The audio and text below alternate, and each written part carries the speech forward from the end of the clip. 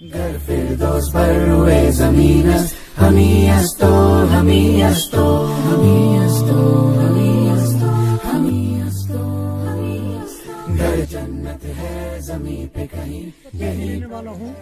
मेरी उम्र साठ साल से ऊपर हो गई है साहब। नब्बे ऐसी पहले एक दौर था बहुत ही बढ़िया दौर आया था। उस वक्त हम सिख हिंदू कश्मीरी गुजर ईसाई हम सब एक ही स्कूल में पढ़ते थे। जब हम उन्नीस सौ उनहत्तर में पढ़ते थे बचपन का ख्याल था यहाँ से तंगल तक पैदल जाना पड़ता कश्मीर वो जगह थी कि जहाँ चार आदमी बैठ के एक थाली में खाना खाते थे। ऐसा बढ़िया दौर था था वो कि अगर रात के 12 बजे भी कोई अपने घर से निकलता था उसको कोई दिक्कत नहीं आती थी। हर जगह में दुकान खुले रहते थे, होटल खुले रहते थे। हम तो बड़ी ऐश की ज़िंदगी सी गुजार रहे थे। एक एक दौर ऐसा आया कि इधर मिलिटेंट आ गए। मिलिटेंट आने के बावजूद इधर दहशतगर्दी फैल गई पूरे कश्मीर में। लोगों को बहुत खतरा हो गया। कोई बाहर नहीं जा सकता, कहीं मजदूरी पर नहीं जा सकता, कहीं कुछ नहीं कर सकता। हो गया। आ गया मुजाहिद वहाँ वहाँ वहाँ। हमारा खाना हराम है।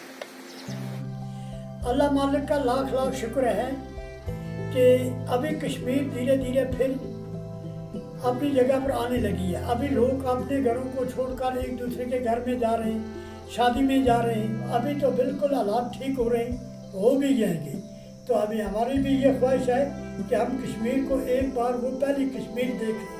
मेरा नाम है गुलाम मोहम्मद। मैं यहाँ से बत्तीस साल से काम कर रहा हूँ। इससे पहले हमारे पिताजी भी कर रहे हैं उसने भी तीस साल काम यहाँ पे किया है।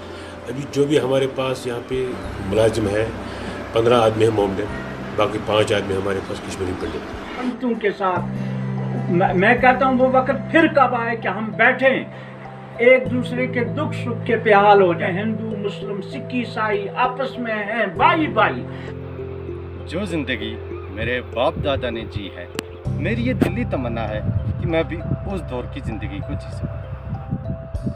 आज के नौजवान का ये मानना है, सरकार की ये जो पहल है, ये कश्मीर को नई बुलंदियों पर ले जाएगी। कश्मीर तरक्की की ओर बढ़ रही है और नए आयाम हासिल कर रही है। कश्मीर में roads, job opportunities, dams, infrastructure development बढ़ रही है। कश्मीर के लोग कश्मीरियत और इंसानियत को पहचान रहे हैं। और आलामा इकबाल ने भी क्या सही कहा था? कर फिरदौस रूहे। जमी हस्त हमी हस्त।